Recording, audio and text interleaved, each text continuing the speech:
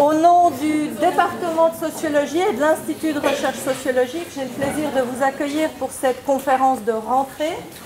La conférence de rentrée des sociologues est une nouveauté, c'est la première fois que nous l'organisons dans ce format-là. C'est sur la suggestion de notre collègue Mathilde Bourrier que nous avons considéré important de rassembler la communauté des sociologues à Genève et ça veut dire rassembler les enseignants, les assistants, les doctorants, les étudiants de master, les étudiants de bachelor, peut-être aussi des collègues qui sont aujourd'hui dans d'autres institutions, les hautes écoles euh, de la ville et d'ailleurs, et potentiellement nos professeurs honoraires. Je cherche dans la salle si je les vois, mais je ne crois pas qu'ils soient là. Mais il y a notre volonté de rassembler. Et au André, premier mais il n'est pas encore honoraire, vraiment, c'est pour ça.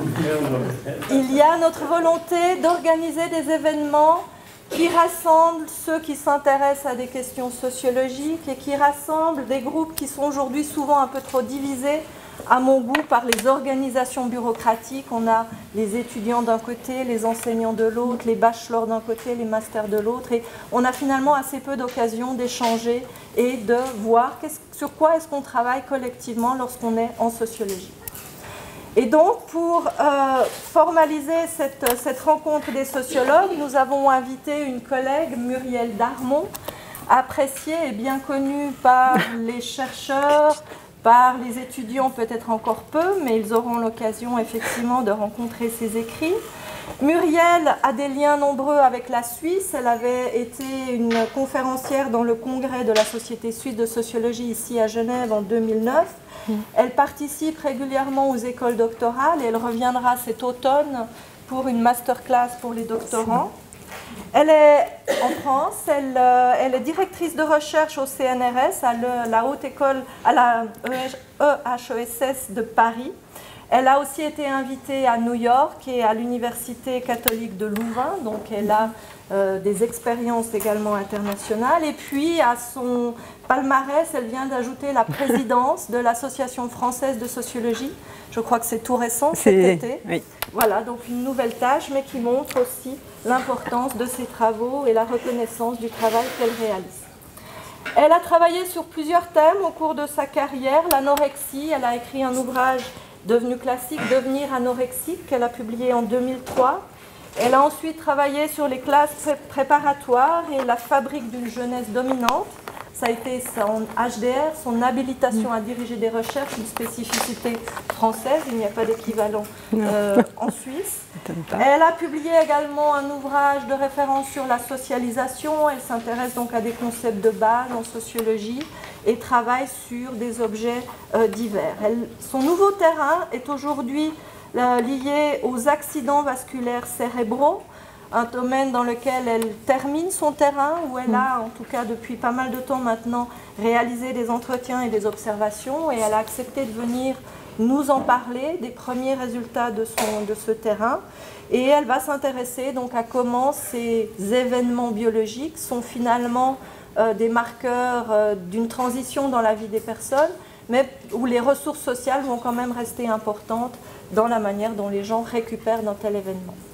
Muriel va parler environ 45 minutes et puis ensuite je passerai la parole à Solène Gouillers pour euh, modérer les discussions, la discussion, les questions pendant une quinzaine de minutes avant un apéro qui sera servi devant la salle.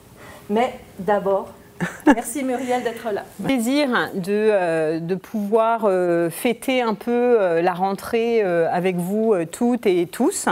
Je pense que c'est... euh, je ne savais pas que c'était une très jeune tradition, mais en tout cas, euh, moi, je la trouve extrêmement sympathique et agréable. Donc, du coup, pour euh, célébrer aussi ce côté rentrée, j'ai effectivement choisi euh, pas de vous présenter quelque chose de bien rodé, bien ficelé, euh, euh, très bien construit, très impressionnant, avec plein de résultats, etc. Mais plutôt effectivement une recherche en cours et donc euh, un peu en chantier qui sera probablement ni bien construite ni bien bien léché, etc. Mais, mais voilà, donc en pensant que vous me pardonnerez ceci, si en, retour, ça peut avoir aussi un intérêt de voir une recherche assez, assez début, en sorte. Donc, peut-être tout d'abord, effectivement, quelques mots pour expliquer pourquoi j'en suis arrivée à travailler sur les accidents vasculaires cérébraux, même si Claudine en a un, petit peu parlé et que euh, voilà, c'est, euh, je ne suis pas sociologue a priori euh, de la santé ou de cette pathologie-là en, particulier, même si je le suis un peu finalement, mais c'est l'intérêt pour les, questions de socialisation, de construction sociale des personnes, de production sociale des personnes, de socialisation institutionnelle, de la façon dont les institutions produisent chez nous des dispositions, produisent qui nous sommes et créent de l'identité dans d'autres vocabulaires. Euh, c'est cette question-là qui m'intéresse et euh, que j'ai travaillé à partir effectivement de terrains euh, variés. Donc Claudine a parlé des classes préparatoires aux grandes écoles et de l'anorexie ou de l'hôpital psychiatrique, si on passe par l'institution.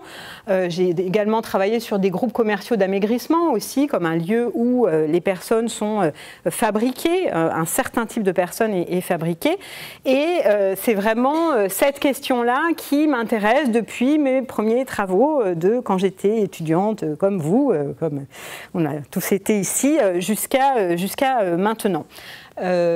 J'ai fait ma thèse sur l'anorexie et ce qui m'intéressait dans cet objet-là, en plus de cette question de la fabrication des personnes, c'était de confronter, disons, le regard sociologique, ce qui peut apporter son intérêt à d'autres types de regards qui étaient les regards plus évidents, plus normaux, plus légitimes euh, sur l'anorexie. Donc là, en l'occurrence, c'était la psychologie, la psychanalyse, etc. Et du coup, c'était cette euh, sorte de confrontation. On, on peut parler aussi parfois de concurrence, d'espace légitime de concurrence, pour euh, paraphraser d'autres sociologues. Et c'est cette confrontation que je trouve assez productive et, et qui me paraissait intéressant de reproduire. Alors cette fois-ci, pas sur la psychologie ou la psychanalyse comme avec l'anorexie, mais sur d'autres types de disciplines qui sont devenues des disciplines très visibles, très importantes, très financées, très euh, puissantes aujourd'hui et qui sont euh, les sciences du cerveau en général. Et du coup, le fait de euh, travailler sur l'AVC, c'était travailler sur un objet sur lequel j'allais confronter ce que moi je pouvais faire avec les outils, le regard sociologique, à ce qui est habituellement fait et la façon dont cette pathologie est approchée. Donc quelques mots peut-être euh, sur l'AVC. Euh, donc, euh, il s'agit en fait d'une lésion cérébrale. Hein. C'est la première cause de handicap acquis chez l'adulte. Et je l'avais mis dans le résumé pour que vous voyez d'emblée en fait la façon dont j'allais construire cet objet et le travailler. C'est une pathologie qui peut brutalement faire disparaître, empêcher, hein, de façon provisoire ou non, c'est-à-dire que les compétences sont récupérables, mais faire disparaître ou empêcher un grand nombre de capacités de la vie quotidienne des patients qui peuvent se retrouver aussi bien à, être euh, paralysés euh, d'un côté, euh, de l'autre, voilà, à ne plus pouvoir parler ou à ne plus pouvoir déglutir ou à avoir des problèmes de, de, coordination, de planification, etc. Donc des problèmes davantage cognitifs. Donc je, je vais très vite et c'est très simple et ça n'a aucune valeur médicale ou informative, mais c'est pour vous donner une idée si vous, vous n'avez pas déjà ce qu'on peut souhaité en partie. Donc, du coup, euh, la façon dont je construis cet objet, c'est de dire qu'il s'agit d'une atteinte biologique euh, de l'individu qui, en, partie, on pourrait penser qu'elle va, euh, du coup, en quelque sorte, égaliser les individus et leurs parcours sociaux antérieurs, qu'elle va s'appliquer de la même manière et détruire, ou non, mais de la même manière et pour des raisons biologiques, les individus, quels qu'ils aient été auparavant euh, socialement. Donc une sorte d'accident égalisateur d'un point de vue social, hein, même si euh, c'est évidemment terrible de parler d'égalisation euh, en ce sens-là. Donc cette vision-là, en fait, de l'AVC comme quelque chose qui détruit justement les appartenances et les compétences sociales, elle existe dans le, le monde social, elle existe dans certaines visions médiatiques ou dans certains témoignages, j'y reviendrai. Elle existe aussi anciennement, y compris dans la littérature et je voulais juste euh, commencer en vous lisant quelques phrases euh, quand j'ai encore du temps pour le faire, donc du conte de Monte Cristo euh, d'Alexandre Dumas, le chapitre 48. Euh, c'est le comte de Monte Cristo rencontre un de ses ennemis jurés, euh, Villefort, euh, et Villefort lui dit, ils ont une discussion sur, sur, sur la mort notamment et sur l'existence, et Villefort lui dit, Monsieur, il y a encore autre chose à craindre que la mort, que la vieillesse ou que la folie. Il y a par exemple l'apoplexie, ce coup de foudre qui vous frappe sans vous détruire, et après lequel cependant tout est fini. C'est toujours vous, et cependant vous n'êtes plus vous. Vous qui touchiez comme Ariel à l'ange, vous n'êtes plus qu'une masse inerte qui, comme Caliban, touche à la bête. Venez, s'il vous plaît, continuer cette conversation chez moi, monsieur le comte, et je vous montrerai mon père, monsieur Noirtier de Villefort, un des plus fougueux jacobins de la Révolution française, c'est-à-dire la plus brillante audace mise au service de la plus vigoureuse organisation. Eh bien, monsieur, la rupture d'un vaisseau sanguin dans un lobe du cerveau a brisé tout cela, non pas en un jour, non pas en une heure, mais en une seconde. La veille, M. Noirtier, ancien jacobin, ancien sénateur, ancien carbonaro, riant de la guillotine, riant du canon, riant du poignard, M. Noirtier riant avec les révolutions. M. Noirtier, si redoutable, était le lendemain ce pauvre M. Noirtier, vieillard immobile, livré aux volontés de l'être le plus faible de la maison, c'est-à-dire de sa petite fille Valentine. Donc, cette description terrible, hein, et particulièrement euh, euh, forte de, Dumas, en fait, est donc tenue par un personnage dont toute la suite du conte de Monte Cristo va montrer qu'il se trompe. C'est-à-dire que son père, Noirtier de Villefort, va rester et est resté malgré euh, son aphasie, hein, il ne peut plus parler, et sa paralysie quasi totale, c'est un cas de Lockton syndrome, comme on dirait maintenant, mais il est resté jusque dans ces incompétences-là, jacobin sénateur et Carbonaro. Il va en quelque sorte comploter le renversement de Villefort avec le comte de Monte Cristo et il va le faire en utilisant des compétences qui étaient effectivement bien les siennes, celles d'avant, malgré euh, toutes les difficultés qu'il peut avoir à communiquer avec euh, les euh, gens autour de lui. Donc en quelque sorte, on pourrait dire que mon travail en cours sur les, parcours de patients atteints d'AVC vise en quelque sorte à donner raison à Dumas sur Villefort. Hein. Villefort le personnage qui dit que son père a été euh, anéanti socialement hein, par, euh, l'apoplexie, et euh, Dumas qui, en fait, par l'ouvrage, par le, roman, sous-entend que, en fait, certaines des compétences sociales de Noirtier de Villefort se, sont, se sont maintenues. Et du coup, c'est effectivement cette question-là, en fait, qui m'occupe sur cet objet de l'AVC, notamment parce que c'est celle qui va poser le plus, il me semble, le plus nettement la question des inégalités sociales de santé concernant euh, l'AVC. Je ne vais pas euh, en parler euh, trop aujourd'hui euh, pour ne pas m'écarter du, sujet plus spécifique que je voulais euh, traiter, mais de fait, on sait que les récupérations post-AVC sont soumises, euh, sont influencées par la position sociale des personnes, par le diplôme notamment, et on le sait sans pouvoir en faire grand-chose parce qu'on le sait par des statistiques et, des approches médicales, mais pour l'instant pas sociologiques. Donc c'est une des choses, vous comprendrez bien, qui qui m'intéresse et euh, sur laquelle je pense que la sociologie, justement, euh, peut apporter euh, quelque chose. Et pour reprendre, voilà, je reprends totalement à mon compte une question qui,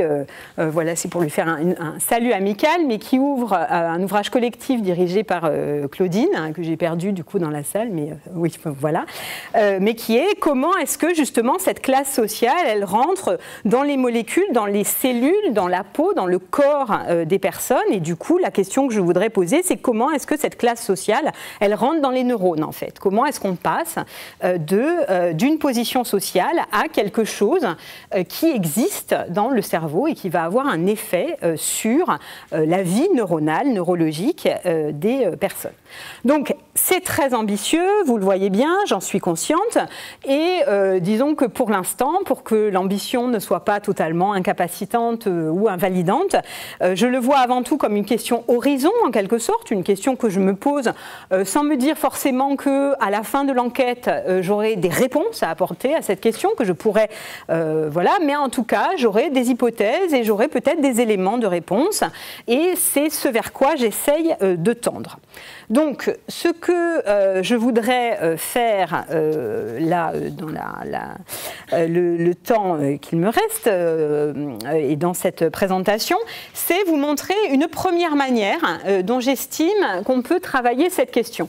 En fait, une des idées que j'ai, ça va être de décliner un ensemble d'outils, mais qui ne sont pas seulement des outils, qui sont des approches sociologiques, décliner un ensemble d'approches sociologiques pour essayer de euh, de travailler cette question en utilisant toute l'aide que la sociologie peut apporter. Donc, cette première approche euh, que, euh, dont, je vais parler maintenant, cette première approche, c'est, on, peut dire, une première façon de sociologiser les parcours post-AVC, c'est de se dire, bon, quel que soit euh, l'aspect biologique de l'événement AVC, de euh, euh, l'apoplexie selon Dumas, de cette lésion cérébrale, il va être de toute façon vécu et raconté différemment par des personnes en fonction de qui elles sont socialement. Donc c'est rentrer sans, si vous voulez, ouvrir la boîte noire de l'AVC lui-même, sans rentrer dans les neurones ou dans le cerveau, contrairement à, l'effet d'annonce que j'ai fait euh, à l'instant, mais de se dire un premier outil, un premier coin pour rentrer dans cette question, c'est de passer par sa narration et son vécu avec euh, toutes les différences qu'il peut y avoir entre les deux. Mais voilà, donc dire que l'AVC, certes médical, biologique, neurologique, est vécu et raconté différemment par des personnes en fonction de qui elles sont euh, socialement. Donc, du coup, si on rentre avec cette question-là, on regarde un peu, euh, eh bien, euh, déjà, bon, les articles qui existent déjà sur les, euh, en sociologie, donc des narratives, donc des récits, hein, articles qui existent déjà en sociologie de la santé ou ou de la médecine sur les narrations d'AVC par les patients. On regarde aussi les récits sur les sites internet, les témoignages de patients à la télé, dans les médias, etc.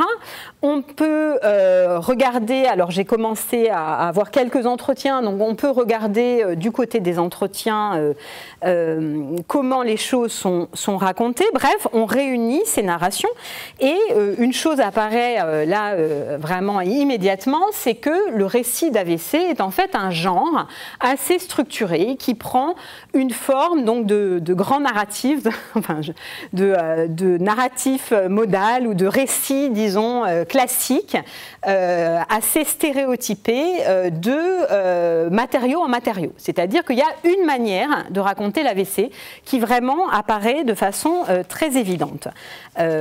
cette manière, c'est le, la figure du coup de tonnerre dans un ciel clair, c'est-à-dire de l'AVC qui frappe brutalement des individus jeunes en bonne santé et euh, plutôt euh, d'ailleurs, et euh, ça j'y reviendrai le plus longuement possible, mais plutôt issus des classes moyennes et supérieures. donc ce coup de tonnerre dans un ciel clair, c'est vraiment quelque chose qui transparaît dans tous dans toutes ces narrations. Et du coup, euh, si on veut rentrer plus précisément hein, dans le détail de, euh, dans les témoignages, par exemple, si vous regardez les témoignages sur, euh, sur les, différents sites de patients ou les témoignages, et là j'arrive, ou les témoignages écrits sous forme de livres, d'ouvrages, de, de, récits de type self-help ou de témoignages, donc, il y a une structure qui se détache, encore plus précisément que celle que je vous ai dite, et qui est la chose suivante. donc euh, c'est euh, peu importe. En tout cas, c'est quelque chose que euh, j'ai vu apparaître à partir notamment des témoignages écrits. Mais donc, c'est le témoignage commence par le début in medias res en quelque sorte, par le jour, le matin, le moment de l'AVC. Ensuite, il y a un deuxième temps qui est arrivé aux urgences, prise en charge médicale, avec le choc de cette prise en charge médicale. Euh, ensuite, dans le récit, il y a un retour réflexif, descriptif sur la vie d'avant, euh, sur les capacités, les compétences qui étaient tenues pour acquises. Et donc là, le le, le, patient qui témoigne parle de qui il était avant. Puis il y a une sorte de passage de mesure de prise de conscience, de description des pertes liées à l'AVC. Donc les médecins disent déficit. Moi j'utilise le terme de perte ou, d'empêchement pour désigner voilà, ce qui euh, euh, n'est plus fait, ce qui ne peut plus être fait, euh, ce qui manque, ce qui est désigné comme perdu, comme, comme capacité, comme voilà, possibilité. Puis il y a une description longue de la rééducation et des réapprentissages sur un modèle du progrès, de la lutte et on verra quand même avec des différences d'un récit à l'autre, mais en tout cas un modèle euh, global euh, de la progression dans la rééducation et le réapprentissage. Et enfin, ces témoignages se terminent par une sorte de bilan hein, pratique, existentiel euh, de l'AVC. Donc, euh, ce grand euh, narrative, ce grand narrative plutôt, euh, il me semble, alors il pose un certain nombre de problèmes, j'essaye de ne pas passer trop de temps dessus. le problème principal qu'il pose quand on le regarde, c'est que il universalise en fait un seul cas, en quelque sorte, de patients avec AVC et un cas qui plus est minoritaire. ce coup de tonnerre dans un ciel clair, c'est quelque chose qui arrive donc à des patients jeunes, enfin à des euh, hommes et des femmes jeunes, en bonne santé, euh, qui sont donc euh, mis à bas de manière terrible par l'AVC. Mais du coup, une enquête, là, pour le coup de 嗯。Sociologues anglais, d'épidémiologues et de, et de, médecins aussi, euh, mais euh, donc euh, par une équipe anglaise sur les récits d'AVC qui a porté sur les classes populaires londoniennes de l'Est londonien, montre que si on regarde non pas du coup comment ils témoigneraient de leur AVC, mais juste la façon dont ils le décrivent en entretien, on s'aperçoit que dans ces cas-là, le récit est tout à fait différent, que l'AVC est en quelque sorte une crise de plus et une maladie de plus dans une longue carrière euh, de, euh, de problèmes, de difficultés matérielles ou euh, ou médicale en fait. Et que donc il n'y a pas du tout cet euh, effet à la fois surprenant et euh, disruptif, comme on dirait aujourd'hui. je ne pensais pas prononcer ce terme moi-même. donc l'effet vraiment de, de, création de discontinuité très forte, parce que ça s'inscrit dans aussi un rapport au corps, à la maladie, etc., qui est populaire et qui est et qui donc euh, euh, devient une base sur laquelle se construit un autre type de narration, de vécu de l'AVC euh, que celui qui est présenté dans ces témoignages, donc légitimes en quelque sorte. voilà. Donc Premier problème, cette grande narration, elle, donc elle universalise un cas parmi d'autres. deuxième problème, qui me semblait qu'elle posait, c'est que elle homogénéise aussi beaucoup en fait, euh, ce, qui, euh, que représente et ce que va euh, impliquer l'AVC, y compris pour les populations donc jeunes et de classe moyenne supérieure qui en sont dans ces cas-là les victimes. C'est-à-dire que je suis partie du principe que on pouvait encore trouver, faire œuvre sociologique, c'est-à-dire trouver de la variation dans, ces récits-là, même si on regardait au sein de ces témoignages euh, des... Euh, des témoignages provenant de personnes apparemment assez proches socialement. Du coup, pour travailler euh, plus en détail euh, ces, ces témoignages-là, je me suis centrée non pas non plus sur les récits de, sur les sites de patients, etc., mais sur des témoignages sous forme de livres, d'ouvrages hein, qui ont été publiés. J'en ai isolé trois qui me paraissaient intéressants à travailler travailler et comparer. Euh, je vais vous les donner tout de suite. Et c'est à partir de ces trois témoignages euh, que j'ai essayé de voir dans quelle mesure on pouvait euh, comprendre des choses, analyser des choses sur la façon dont l'AVC était indissociablement vécu et raconté par les personnes et les variations qu'on pouvait trouver. Donc ces trois témoignages, ce sont les suivants. C'est un ouvrage publié en 2012, donc j'ai pris trois ouvrages en français, on pourra revenir si vous voulez sur les, la, méthodologie de ce. Alors, je ne vais pas parler de corpus pour trois ouvrages, je pense que ça ne passerait pas, mais donc de ce, quasi-corpus ou de cette réunion de, textes. Donc, il y en a un qui s'appelle Mon match contre l'AVC, publié en 2012 et euh, écrit, coécrit bon, par Grégory, Grégory qui est un rugbyman, sportif et rugbyman professionnel, qui a été donc frappé à 30 ans euh, par un AVC et qui est ensuite euh, retourné sur les terrains de rugby. Donc, le, livre se présente aussi comme un récit d'une carrière sportive, hein, c'est son deuxième, sa deuxième définition si on veut, et euh, donne quelques éléments quant à l'origine, à la trajectoire sociale de Grégory Mahé, euh, qui me permettent de le situer socialement. Je le fais euh, maintenant pour que... mais voilà, il est issu d'une famille nombreuse, de milieu modeste, du sud-ouest de la France. ses parents font les saisons, gèrent les bars avant d'acheter leur propre bar-restaurant, et il a suivi une filière scientifique au lycée, bon, interrompant ensuite ses, études pour devenir rugbyman. Euh, je présente euh, en quelque sorte les trois euh, textes en suivant la hiérarchie sociale de manière croissante. Deuxième texte, on passe à un autre monde social. Il s'agit de J'étais un homme pressé, AVC, un grand patron témoigne, de Christian Streff, euh, qui a été effectivement euh, directeur général de Saint-Gobain, PDG d'Airbus, de PSA Peugeot, euh, et qui raconte dans ce livre l'AVC qu'il a touché à 54 ans, donc là on reste dans des âges jeunes hein, pour l'AVC, et qui raconte donc à la fois le long chemin de sa reconstruction, et puis là, en plus d'appartenir aux gens témoignage de maladie, cet ouvrage, c'est aussi une sorte de critique euh, du monde des affaires. Euh, euh, par, par, le, par, son narrateur, par l'auteur.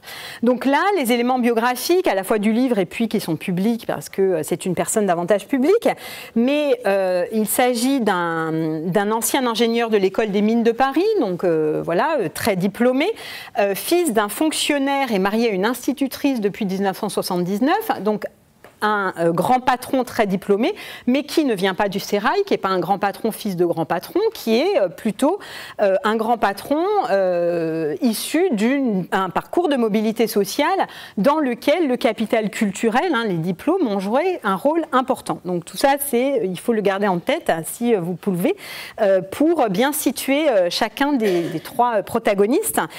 troisième, c'est le docteur Jill Bolte Taylor.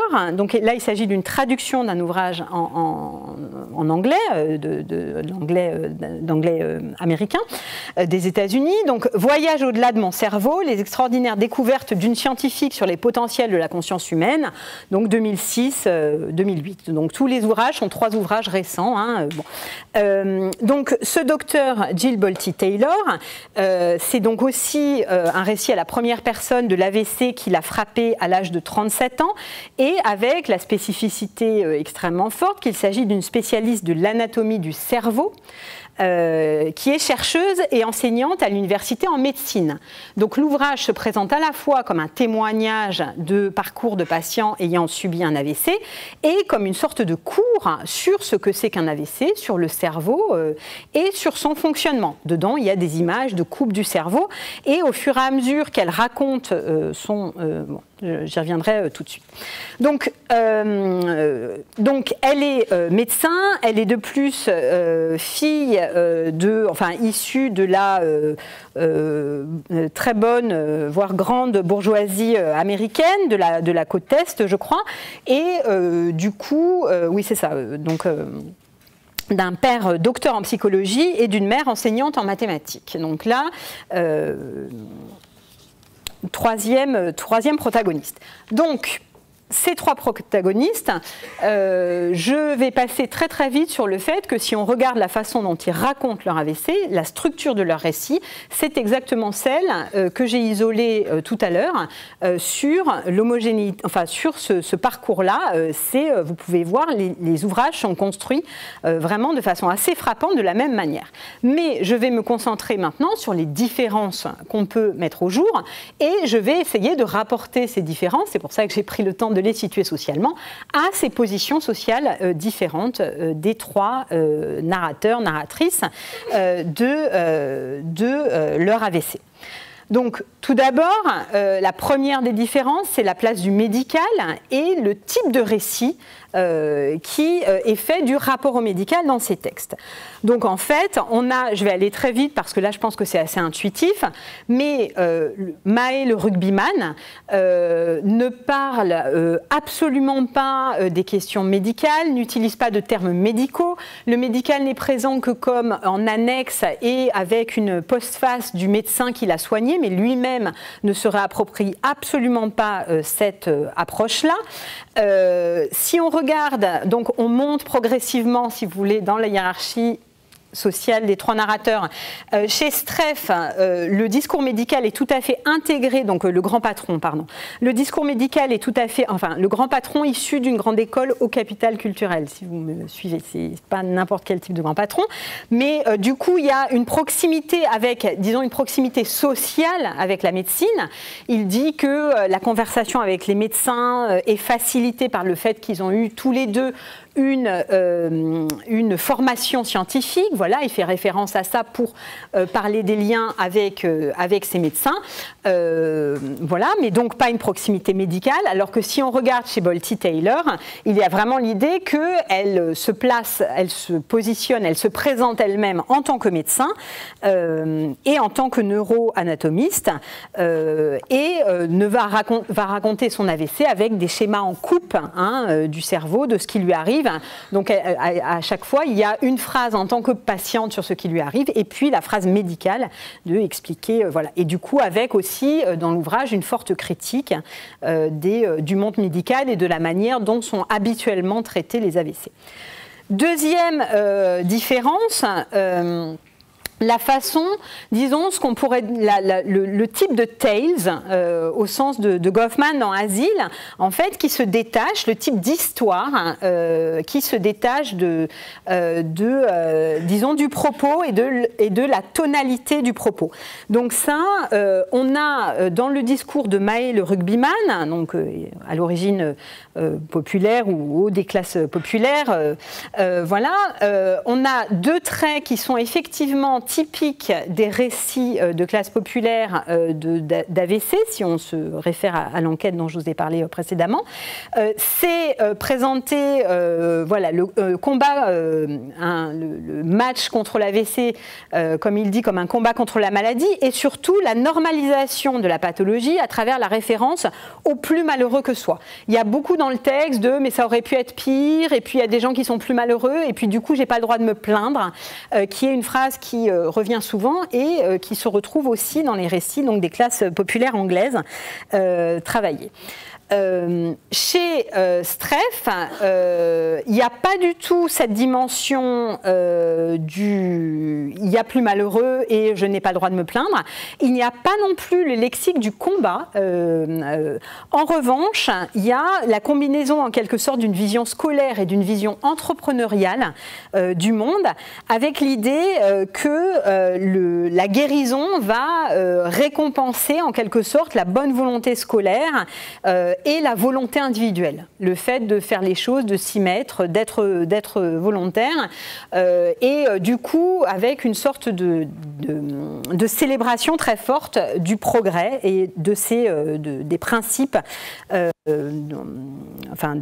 du, progrès et de l'entreprise de soi. Euh, donc, euh, Maé, donc le rugbyman se félicite d'être revenu sur le stade euh, malgré son AVC et du coup Streff en revanche va dire l'AVC a été une expérience fondatrice parce que ça m'a permis de me détacher du monde des affaires qui en fait me bouffaient, étaient nocifs pour moi, etc. Et donc ça c'est aussi quelque chose qu'on retrouve dans la sociologie du handicap, c'est-à-dire le fait de réinterpréter comme une expérience finalement fondatrice euh, qui peut avoir des effets positifs de prise de conscience, de réflexivité, etc. Et quelque chose aussi qui augmente régulièrement avec la position sociale euh, des personnes. Donc on retrouve euh, chez Streff.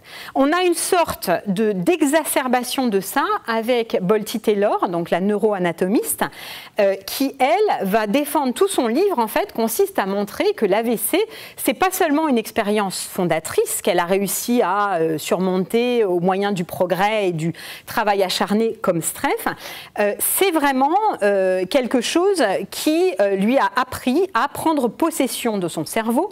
c'est quelque chose qui a été une chance inouïe.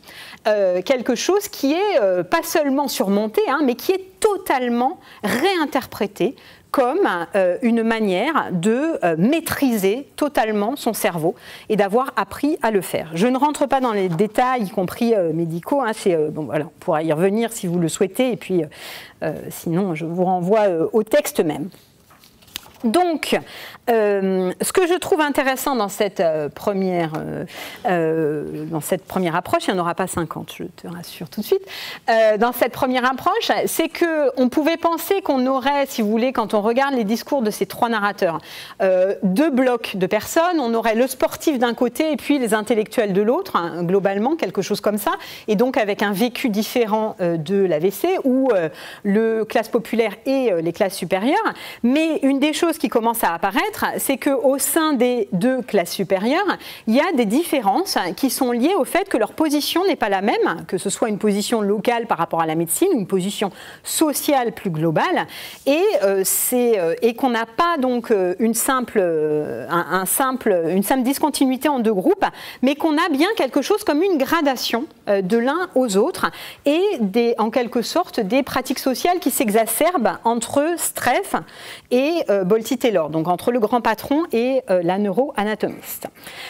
Je souhaite maintenant euh, regarder euh, comment on peut examiner sur ces trois témoignages la façon dont ils révèlent du coup une vision clivante, différente du gouvernement de soi, euh, à partir de cette expérience euh, de euh, l'AVC. Donc de fait, dans ces témoignages sur l'AVC, il y a quelque chose qui qui, ressort et qui a trait à la façon dont on se pense soi-même et dont on pense qu'on se, qu'on se comporte, qu'on se gouverne dans la vie sociale. Donc pour aller là aussi assez vite, mais euh, là aussi je pense que ça devrait être plutôt intuitif, du moins j'espère, euh, on a chez Grégory Mahé, le rugbyman, une vision très pratique de l'intelligence corporelle. En gros, il est très bourdieusien. Je dis ça pour... Euh, euh, voilà. Euh, une forme d'intelligence corporelle, c'est le corps qui est touché par l'AVC et c'est le corps qui doit tout réapprendre. Et donc, le Maé, le rugbyman, ne va absolument pas parler d'atteintes cognitives, de problèmes qu'il aurait à parler, à écrire, à réfléchir, à planifier, à anticiper, etc. C'est totalement absent. Il ne parle que des problèmes corporels et avec du coup une extension, si vous voulez, des domaines corporels qui l'inquiète et sur lesquels il va retravailler, qui est euh, tout à fait notable et qui n'a pas du tout son équivalent chez les deux autres. Donc, euh, et la seule euh, dans tout le, livre, le seul moment où il va parler de problèmes de compréhension, c'est au sujet des règles du rugby. Euh, c'est à propos des règles du rugby où euh, il se rend compte qu'il ne les connaît plus, qu'il ne les comprend plus, et euh, voilà. Et du coup, son corps devient vraiment considéré comme le sujet de la pratique, et c'est son corps qui doit se souvenir, qui doit réapprendre, etc. Et c'est ça à la fois son style et, et ce qui ressort de son témoignage. De fait, le cerveau, par exemple, est une figure totalement absente du témoignage du rugbyman. C'est très différent dès qu'on passe euh, chez Christian Streff, donc euh, voilà, où là, euh, il y a au contraire, c'est tout à fait symétrique, on passe dans un autre monde social, il y a une exclusivité intellectuelle, en fait, à la fois de la façon dont il va coder les pertes et ses déficits, ce qu'il ne peut plus faire, et puis dont il va parler de son retravail. Donc, c'est vraiment ultra symétrique au point que quand euh, le seul moment où Streff parle d'une randonnée en solitaire euh, dans, un, euh, dans la montagne qu'il fait, il va dire cette randonnée a permis à mon cerveau à réapprendre à marcher. C'est-à-dire que chez le rugbyman, c'est le corps même qui pense et qui connaît les règles, etc. Mais ici, chez Streff, c'est le cerveau qui marche. voilà. Et le corps est très absent. En revanche, le cerveau est est présent, personnalisé, il a une sorte de, de présence de personnage vraiment du texte qui est tout à fait notable et qu'on va retrouver de façon là aussi absolument exacerbée chez Bolty Taylor. Donc, elle, qui va même théoriser le fait que son cerveau est une personne et même que ce sont deux personnes différentes. Elle a une théorisation, donc là encore sur laquelle je ne peux pas m'étendre, mais euh, des personnalités différentes de l'hémisphère droit et de l'hémisphère gauche, avec euh, l'AVC comme une manière de rentrer en contact avec ces deux personnalités différentes et donc de maîtriser le processus euh, ensuite de gouvernement neurologique de soi. Euh, donc là, dans une, là encore, une, forme, en fait, l'ouvrage se présente comme une, comme une suite de recettes pour permettre l'empowerment neuronal, vraiment de prendre le gouvernement de son, de son cerveau. Euh, tu, tu me fais pas 5 là? Très bien. Alors, du coup, euh, euh, c'est très bien, car je vais euh, avoir le temps de terminer, mais un peu plus longuement qu'en cinq minutes, alors, sur, du coup, la transition était un peu, désolée, j'aurais pu faire plus, élégant et plus fluide.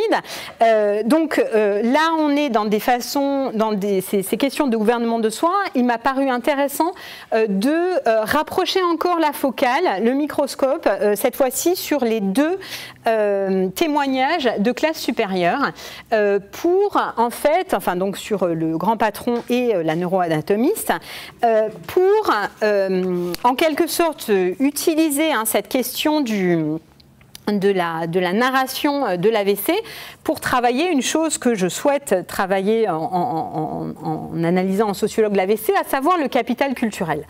Euh, et, euh, et la façon dont il se manifeste et dont il est atteint ou pas par l'AVC et dont il est ensuite reconstruit.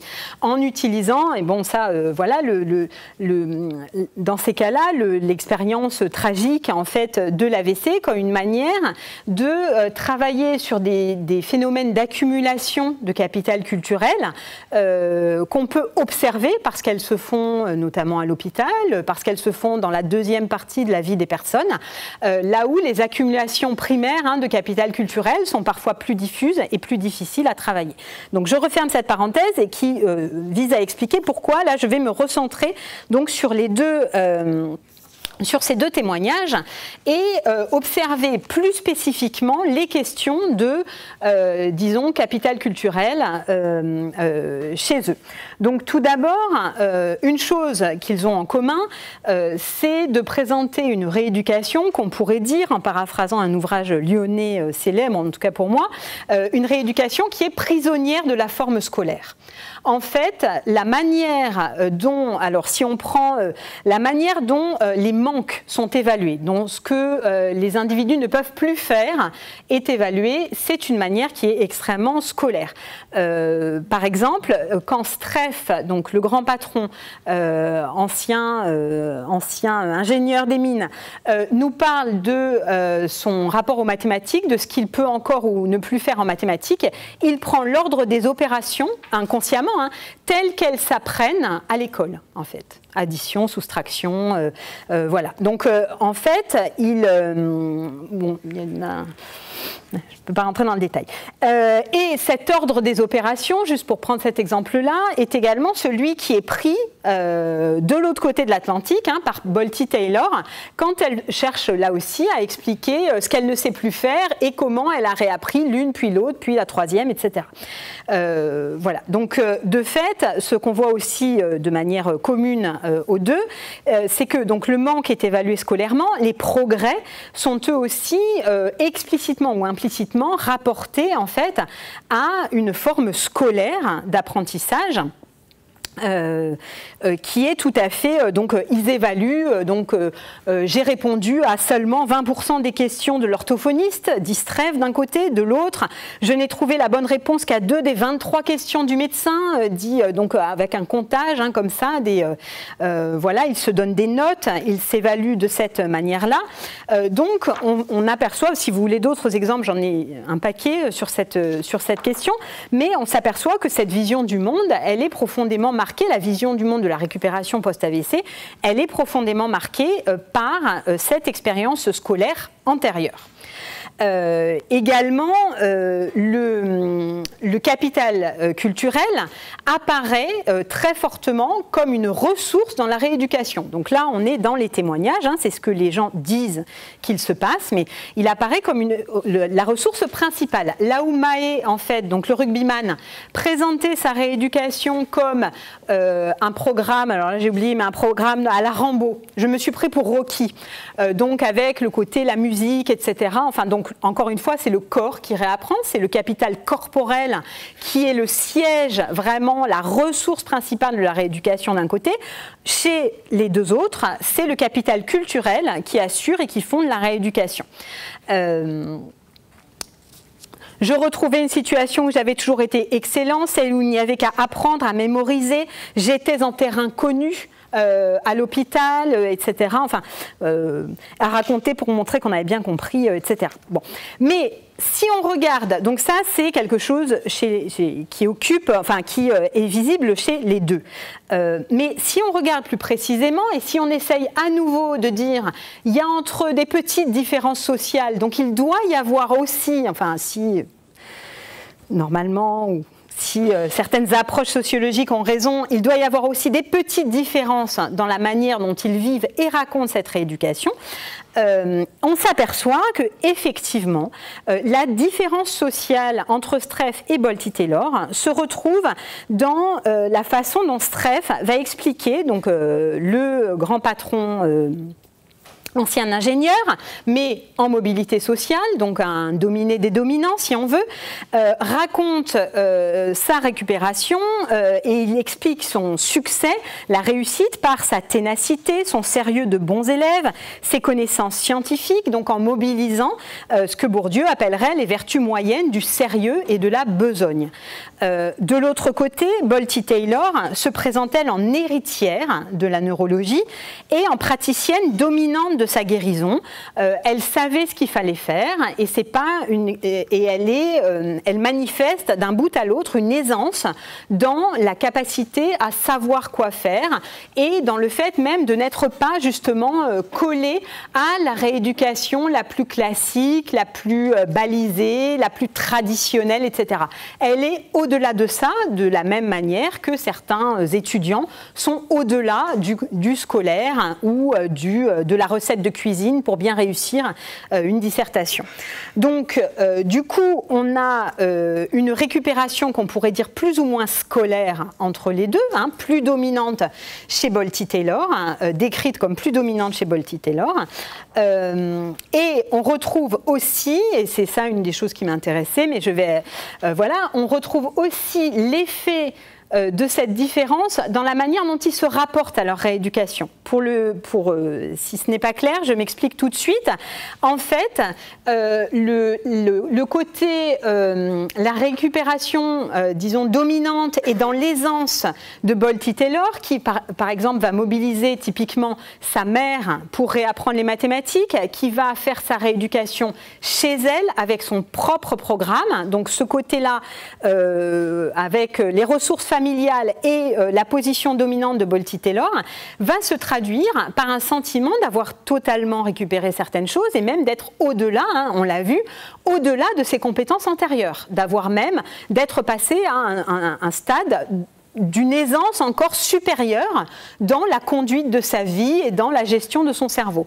A l'inverse, chez Streff, euh, le, fait que la, réaccumulation de capital culturel soit marquée par ce côté très scolaire, très besogneux, très patient, on peut dire que c'est ça qui explique euh, qu'il euh, il finit son témoignage en disant que J'écoute plus, je parle moins, beaucoup moins. Ma parole est mieux préparée, plus rare, plus travaillée. Et donc, il dit, j'ai perdu quelque chose comme une aisance ou de la tranquillité par rapport à euh, des choses qui m'apparaissaient euh, normales. Donc euh, ça, c'est un discours qu'on peut avoir chez bien d'autres patients, hein, victimes de, l'AVC, mais c'est juste que le mettre en rapport avec celui de Bolty Taylor permet de montrer que ce n'est pas totalement un hasard si c'est lui, justement, avec le type de rééducation qu'il dit avoir eu, qui, euh, qui euh, le tient. Euh, je vais finir par une dernière chose qu'ils partagent, cette fois-ci, c'est pas différent de l'un à l'autre. une expérience que, assez étonnante que tous les deux racontent. Et euh, donc c'est un dernier épisode récurrent, commun hein, dans les deux témoignages. Il s'agit du recours par l'un et par l'autre, assumé et tranquille, à des formes de tromperie du public de la maladie, euh, des euh, médecins, des, proches, etc., quant à leur, pas des proches familiaux, mais des proches dans le monde du travail, quant à leur capacité intellectuelle. Ils trompent leur monde et ils s'en glorifient tous les deux dans leur texte. Il euh, n'y a rien de commun dans le récit de Mahé, il ne trompe personne sur le, sur le stade de rugby, etc. Donc, ce sont, alors tout d'abord, ce que racontent ces deux narrateurs, sont des récits de tricherie face aux médecins.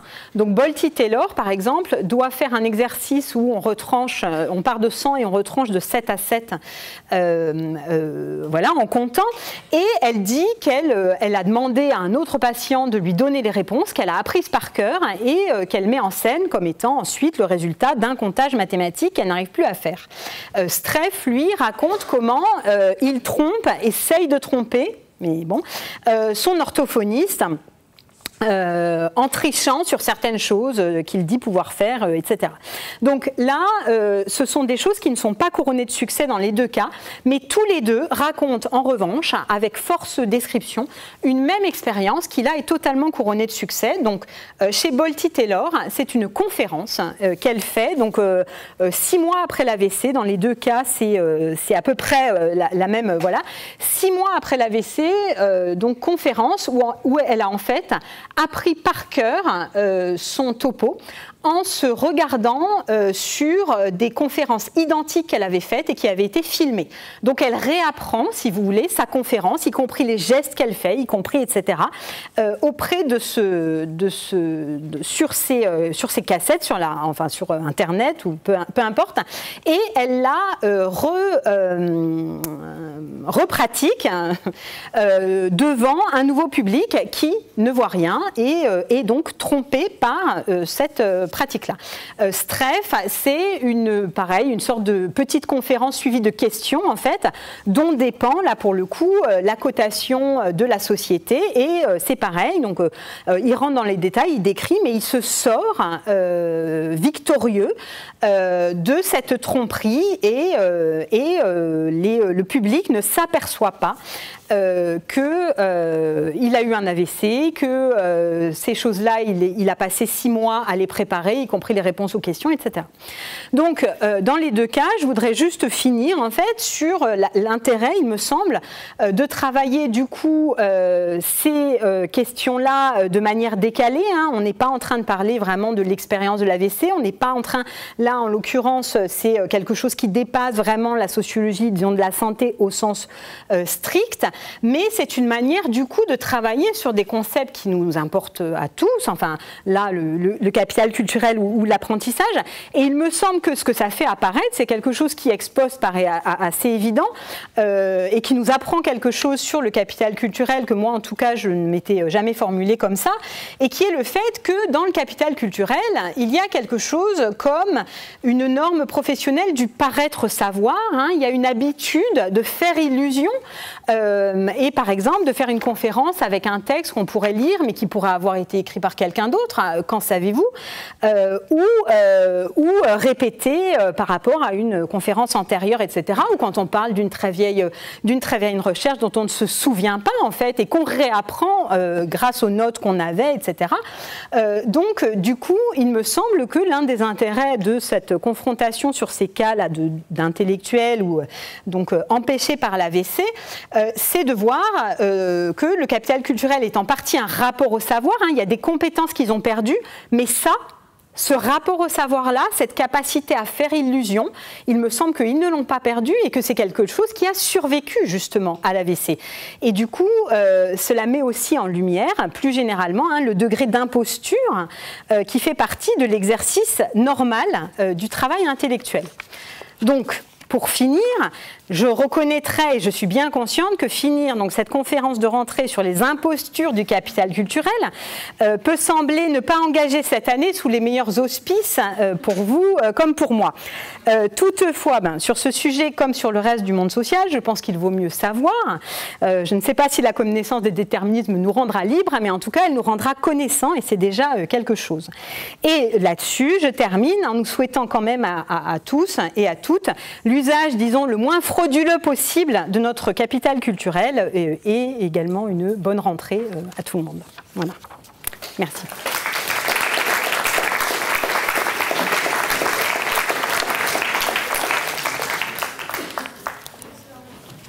Merci beaucoup, Myriam, pour cette euh, très intéressante conférence. On est ravis d'avoir pu pénétrer dans ce chantier déjà bien balisé ouvre euh, des pistes de réflexion intéressantes que vous allez sûrement relever. Et voilà, on a une quinzaine de minutes, une petite quinzaine de minutes pour poser des questions. Ça va, j'ai pas dépassé alors Oula, il y a des, des questions brûlantes déjà. Cornelia euh,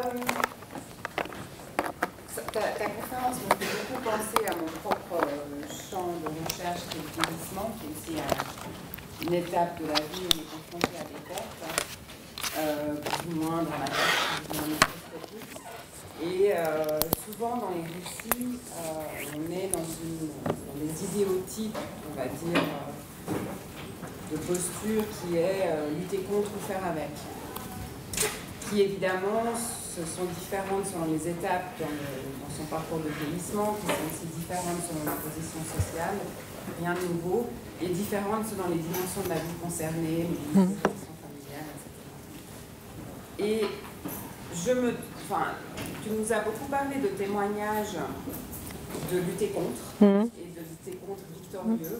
Mmh. Mmh. Et je me demandais si tu allais récolter aussi des récits de faire avec euh, les, les, de l'AVC, ceux qui. Euh, Enfin, ceux qui ont perçu de la part du, médical des pronostics négatifs, hein, qui ne rejoignaient pas à la lutte, ceux qui percevaient leurs propres capitaux comme n'étant pas suffisants. Voilà. Je peux, répondre. Euh, merci. Euh, donc euh, oui, enfin là, je pense que le fait, je suis tout à fait d'accord avec le, et c'est tout à fait intéressant de rapprocher ça de cette de cette alternative là. Et de fait, je pense que là, ce sont justement le, genre de ce témoignage, c'est d'être un témoignage de lutter contre, du témoignage écrit de victimes d'AVC. c'est typiquement le témoignage du lutter contre.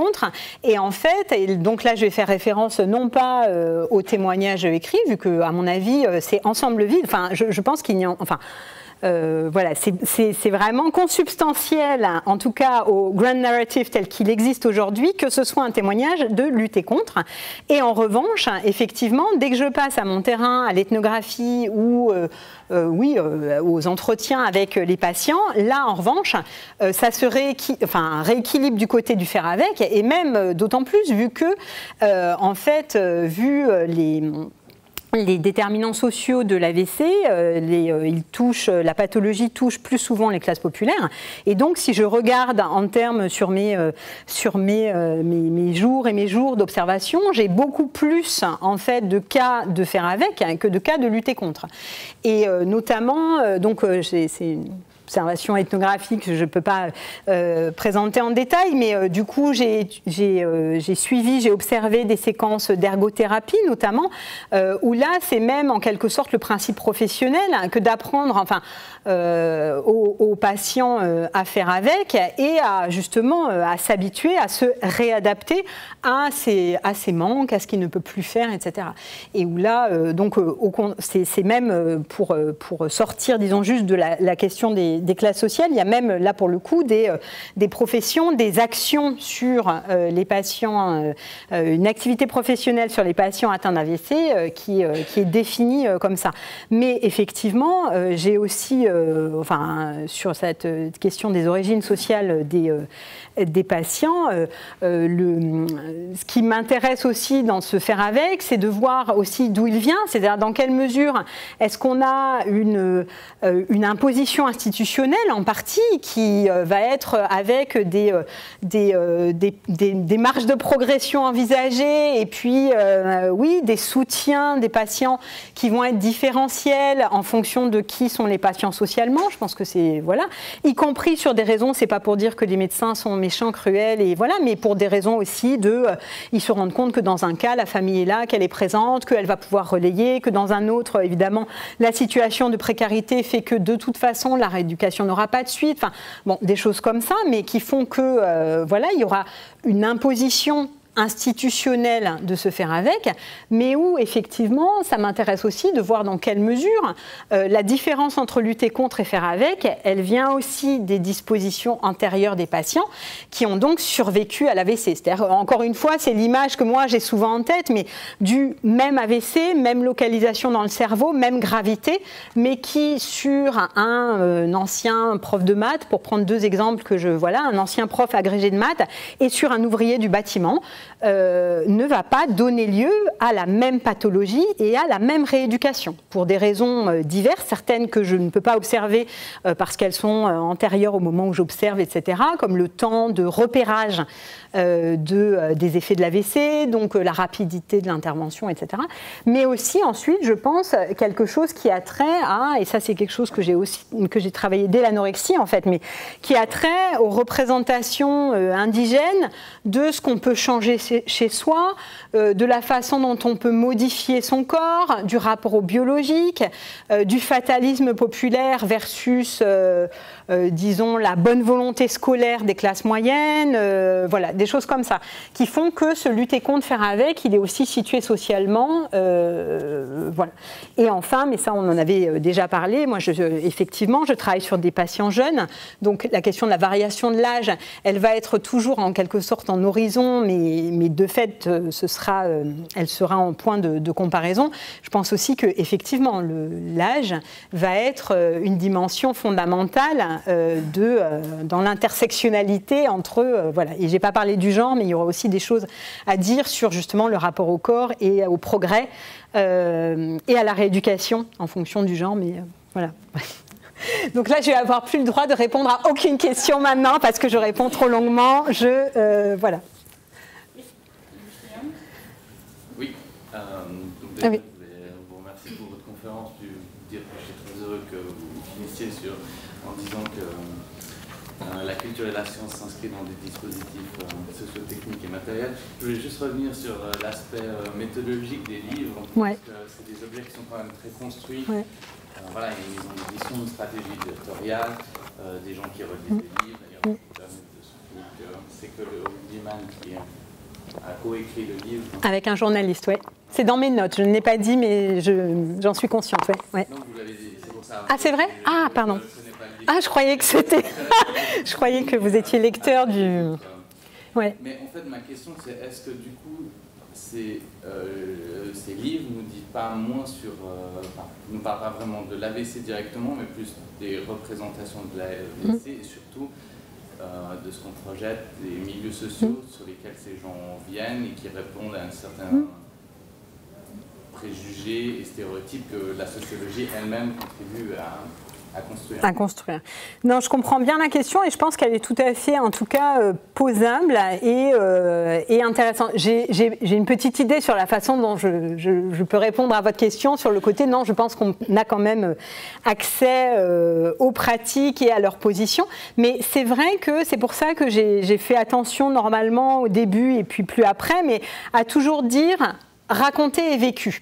Euh, comme un tout en quelque sorte. Et, euh, là, c'est vrai que on est, euh, est dans des autobiographies, dans des témoignages, qui en plus, on peut rajouter à ce que vous dites le fait que effectivement le genre du coup de la narration d'AVC est lui aussi totalement construit. Donc c'est une autre de ces, choses qui vont formater en quelque sorte le discours et puis l'extraire, enfin le désindividualiser par rapport au.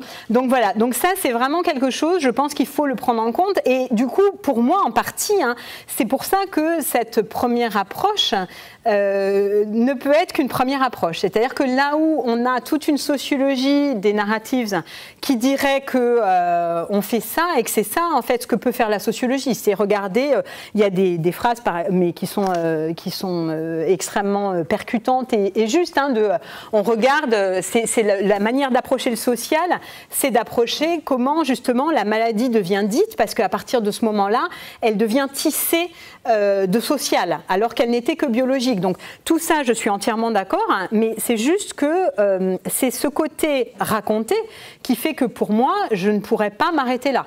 C'est-à-dire que c'est une première approche, c'est quelque chose qui euh, ouvre des questions, mais après, l'idée, c'est ensuite de continuer avec comme matériau mon propre terrain ethnographique et les entretiens, mais surtout beaucoup l'observation, du coup, pour ne plus être dans ce, cette, cette euh, amalgame, même pas, mais cette construction-là des discours, et pouvoir du coup travailler sur vraiment ce que la position sociale fait à l'AVC, euh, sans euh, voilà.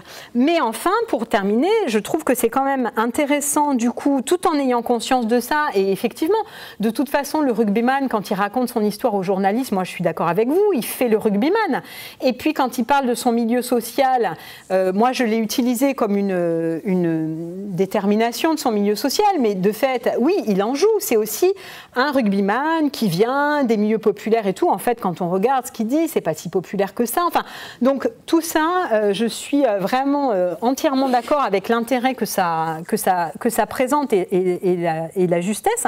Mais de fait, quand même, mais malgré ça, dans les récits, eh bien, je peux rapporter des visions du monde, voire des pratiques racontées à la position différentielle des trois narrateurs. Donc du coup, je dirais, il me semble que ça permet de dire que justement, dans ces témoignages, il n'y a pas que du narratif, il n'y a pas que du construit, il y a aussi un récit de pratique et en tout cas des visions du monde qui sont elles-mêmes, ou que la narration est elle-même une pratique qui est située socialement.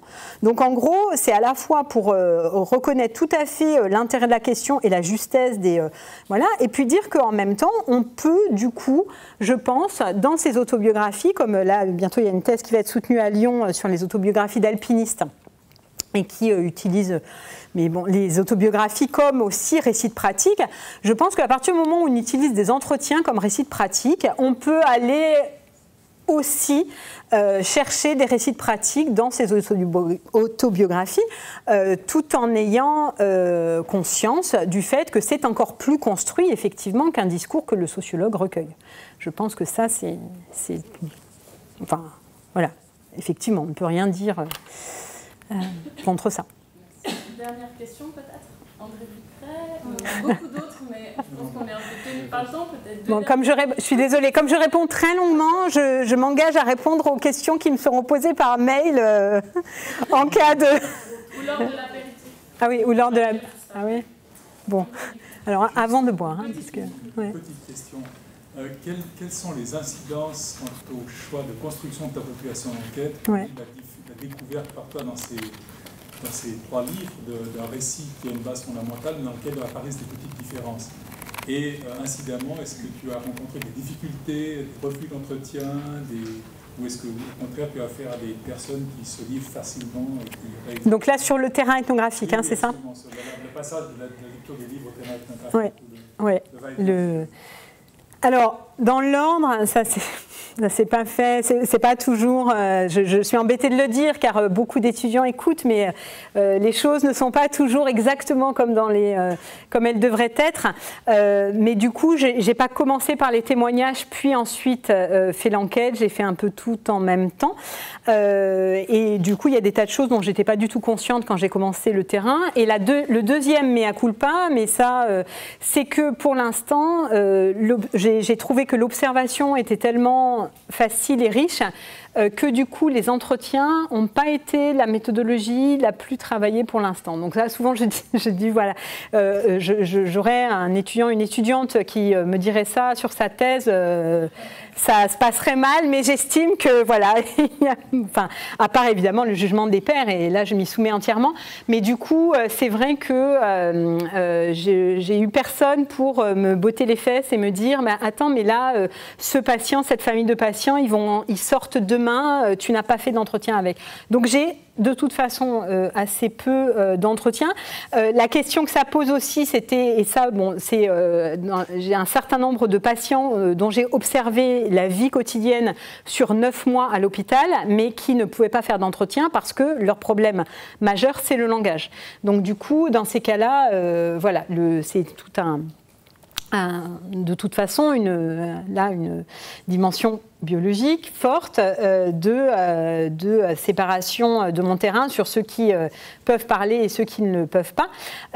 mais effectivement, d'une manière générale, le, les, quelques entretiens que j'ai faits montrent que plus on est dans des milieux sociaux qui sont proches des auteurs de témoignages, plus on est dans un récit euh, qui est construit de cette manière-là et qui est facile. Et effectivement, de toute façon, euh, même sur des patients d'origine populaire qui n'ont pas été, euh, dont le langage n'a pas été touché ou très peu, en fait, l'entretien a parfois été, je, pense à un patient, il a accepté, mais je l'ai suivi partout, des, parfois des, euh, euh, des moments vraiment intimes euh, avec l'équipe médicale ou sans l'équipe médicale, chez lui, lors de l'évaluation de la conduite, de sa capacité à aller au supermarché. Enfin, j'ai passé vraiment beaucoup de temps avec lui. La chose qu'il a refusée à chaque fois, c'est les entretiens.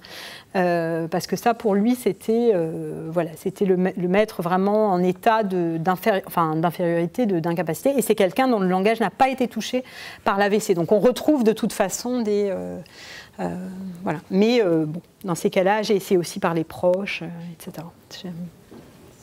Une ultime petite question. On va départager toutes les mains qui se sont levées. Non, vous avez été refroidi. Oui, madame, allez-y, et puis on va finir par vous. D'abord, en fait, en lisant le titre de la conférence, moi, j'ai rien à voir avec, je suis plus du tout étudiante. Je m'attendais en fait à autre chose. Mhm.